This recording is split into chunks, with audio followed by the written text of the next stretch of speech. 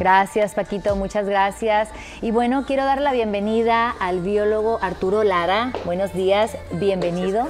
Y estábamos hablando desde el inicio del programa y en todos los canales, seguramente usted también se está dando cuenta, el mundial, el mundial. Cada cuatro años se suscita una, un episodio como este y definitivamente los países están listos para saber quién será la sede, para de ahí saber a qué momento o en qué momento voy a empezar a reservar mi lugar para estar presente y poder ser parte del mundial. Y con esto nos referimos al turismo. ¿verdad? Entonces sabemos que ese país va a estar abarrotado de turistas y eso es bueno o es malo hablando de la contaminación. Bueno, en términos eh, de contaminación podemos en términos generales decir que es de alto riesgo, que tiende a ser malo. No necesariamente. Alto riesgo significa en que este volumen de gentes que va a llegar, que van a consumir, eh, estaba hablando eh, de basura y obviamente de agua en, regaderas de turismo y no turismo, de gran hotel, bajo hotel.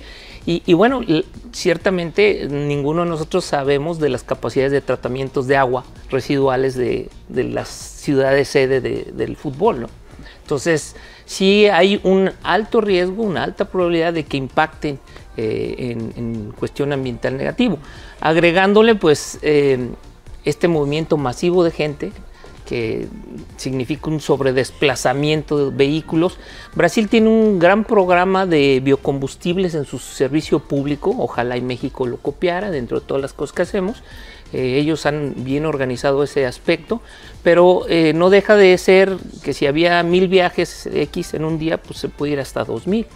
Entonces, eh, lo que son emisiones de gases pues, aumenta significativamente, lo que es eh, agua aumenta significativamente y, si no hay los adecuados sistemas de tratamiento con esas capacidades de extra volúmenes, por supuesto que podremos estar contaminando un poco ahí de, Ipanema, como en alguna época se contaminó la bahía de Acapulco, porque no tenía el puerto de Acapulco suficiente capacidad de tratar las residuales de todo el sistema turístico. Es decir, que el gobierno del país sede debe de considerar no solamente el ser sede, sino que todo, todo lo que, lo que eh, ahora sí eh, viene junto con todo ello, ¿no? Porque como comentaba, son miles y miles y miles de turistas que van a llegar a tu ciudad y que quizá por la aglomeración y todo no tomen la conducta adecuada para poder tomar ahora sí que estas reglas de salubridad que se piden, ¿no?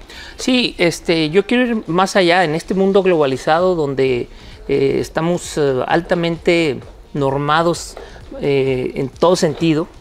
Yo creo que la FIFA ya debería de eh, de incluir en su selección de país sede aquel, aquel país que no nada más garantice los estadios, que, todos sabemos que estuvieron trabajando 24 horas estos últimos meses y posiblemente por ahí hay alguno no bien, bien terminado. Y bien, bien terminado, pues imagínate, a lo mejor no tiene cañería o dónde tirar eh, los residuos de, los baños del estadio. Pero a nivel FIFA perfectamente pudiera eh, decidirse ser un factor aquellas sedes que la soliciten que muestren la capacidad para una sustentabilidad turística deportiva, ¿sí? Eh, junto con la capacidad para hacer desarrollos en sus eh, estadios o nuevos estadios. Pero esto debería ser ya eh, definitivamente considerado por la FIFA.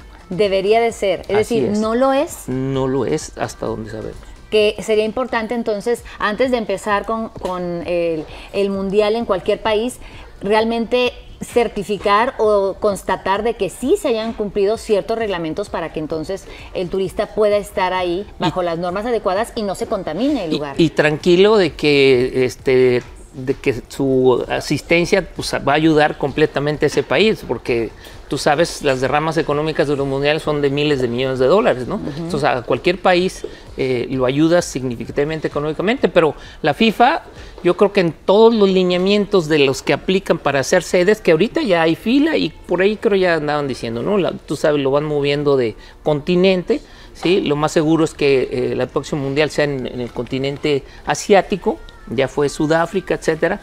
Eh, Europa ha sido obviamente donde más eh, Copas del Mundo ha habido. Entonces, yo no dudo que le toque a algún lugar en Asia, pero si la FIFA pone dentro de los requerimientos eh, la capacidad de esta país que lo solicite en sustentabilidad ambiental, pues sería un éxito completo. Claro, un éxito completo para que eso se siga repitiendo en las demás sedes cada cuatro años, ¿no? Que se está llevando a cabo este mundial. Así que usted ahorita se está dando cuenta que un mundial y el turismo, bueno, sí pueden llegar a crear contaminación siempre y cuando haya normas establecidas en las cuales se les indique perfectamente dónde debe de ponerse la basura o cómo realmente manejar toda la situación para que esto no se salga de, de control. Ojalá que lo estén haciendo ya estaremos escuchando los resultados porque yo sé que las noticias todas están enfocadas ahorita en Brasil y ya estaremos ahora sí que aprendiendo de ellos para cuando nos toque aquí cerquita, digo, imitar las cosas que se deben de volver a ejemplificar y las que no se deben de repetir, pues definitivamente no, ¿verdad? Así es. Muchísimas gracias Arturo por la información, pero por lo pronto aquí en nuestra ciudad sí a salir a barrer nuestra banqueta, a cuidar el agua, a tomar el tiempo necesario para nuestro baño y sobre todo mantener limpio nuestro patio y no tirar basura en los diferentes puntos de nuestra ciudad. Nosotros podemos empezar a hacer algo con nuestra ciudad para empezar ahora sí a acrecentar todo esto en el mundo. Muchas gracias otra vez. y bueno, y seguimos aquí con más información. Yanni, ¿qué nos tienes por el momento?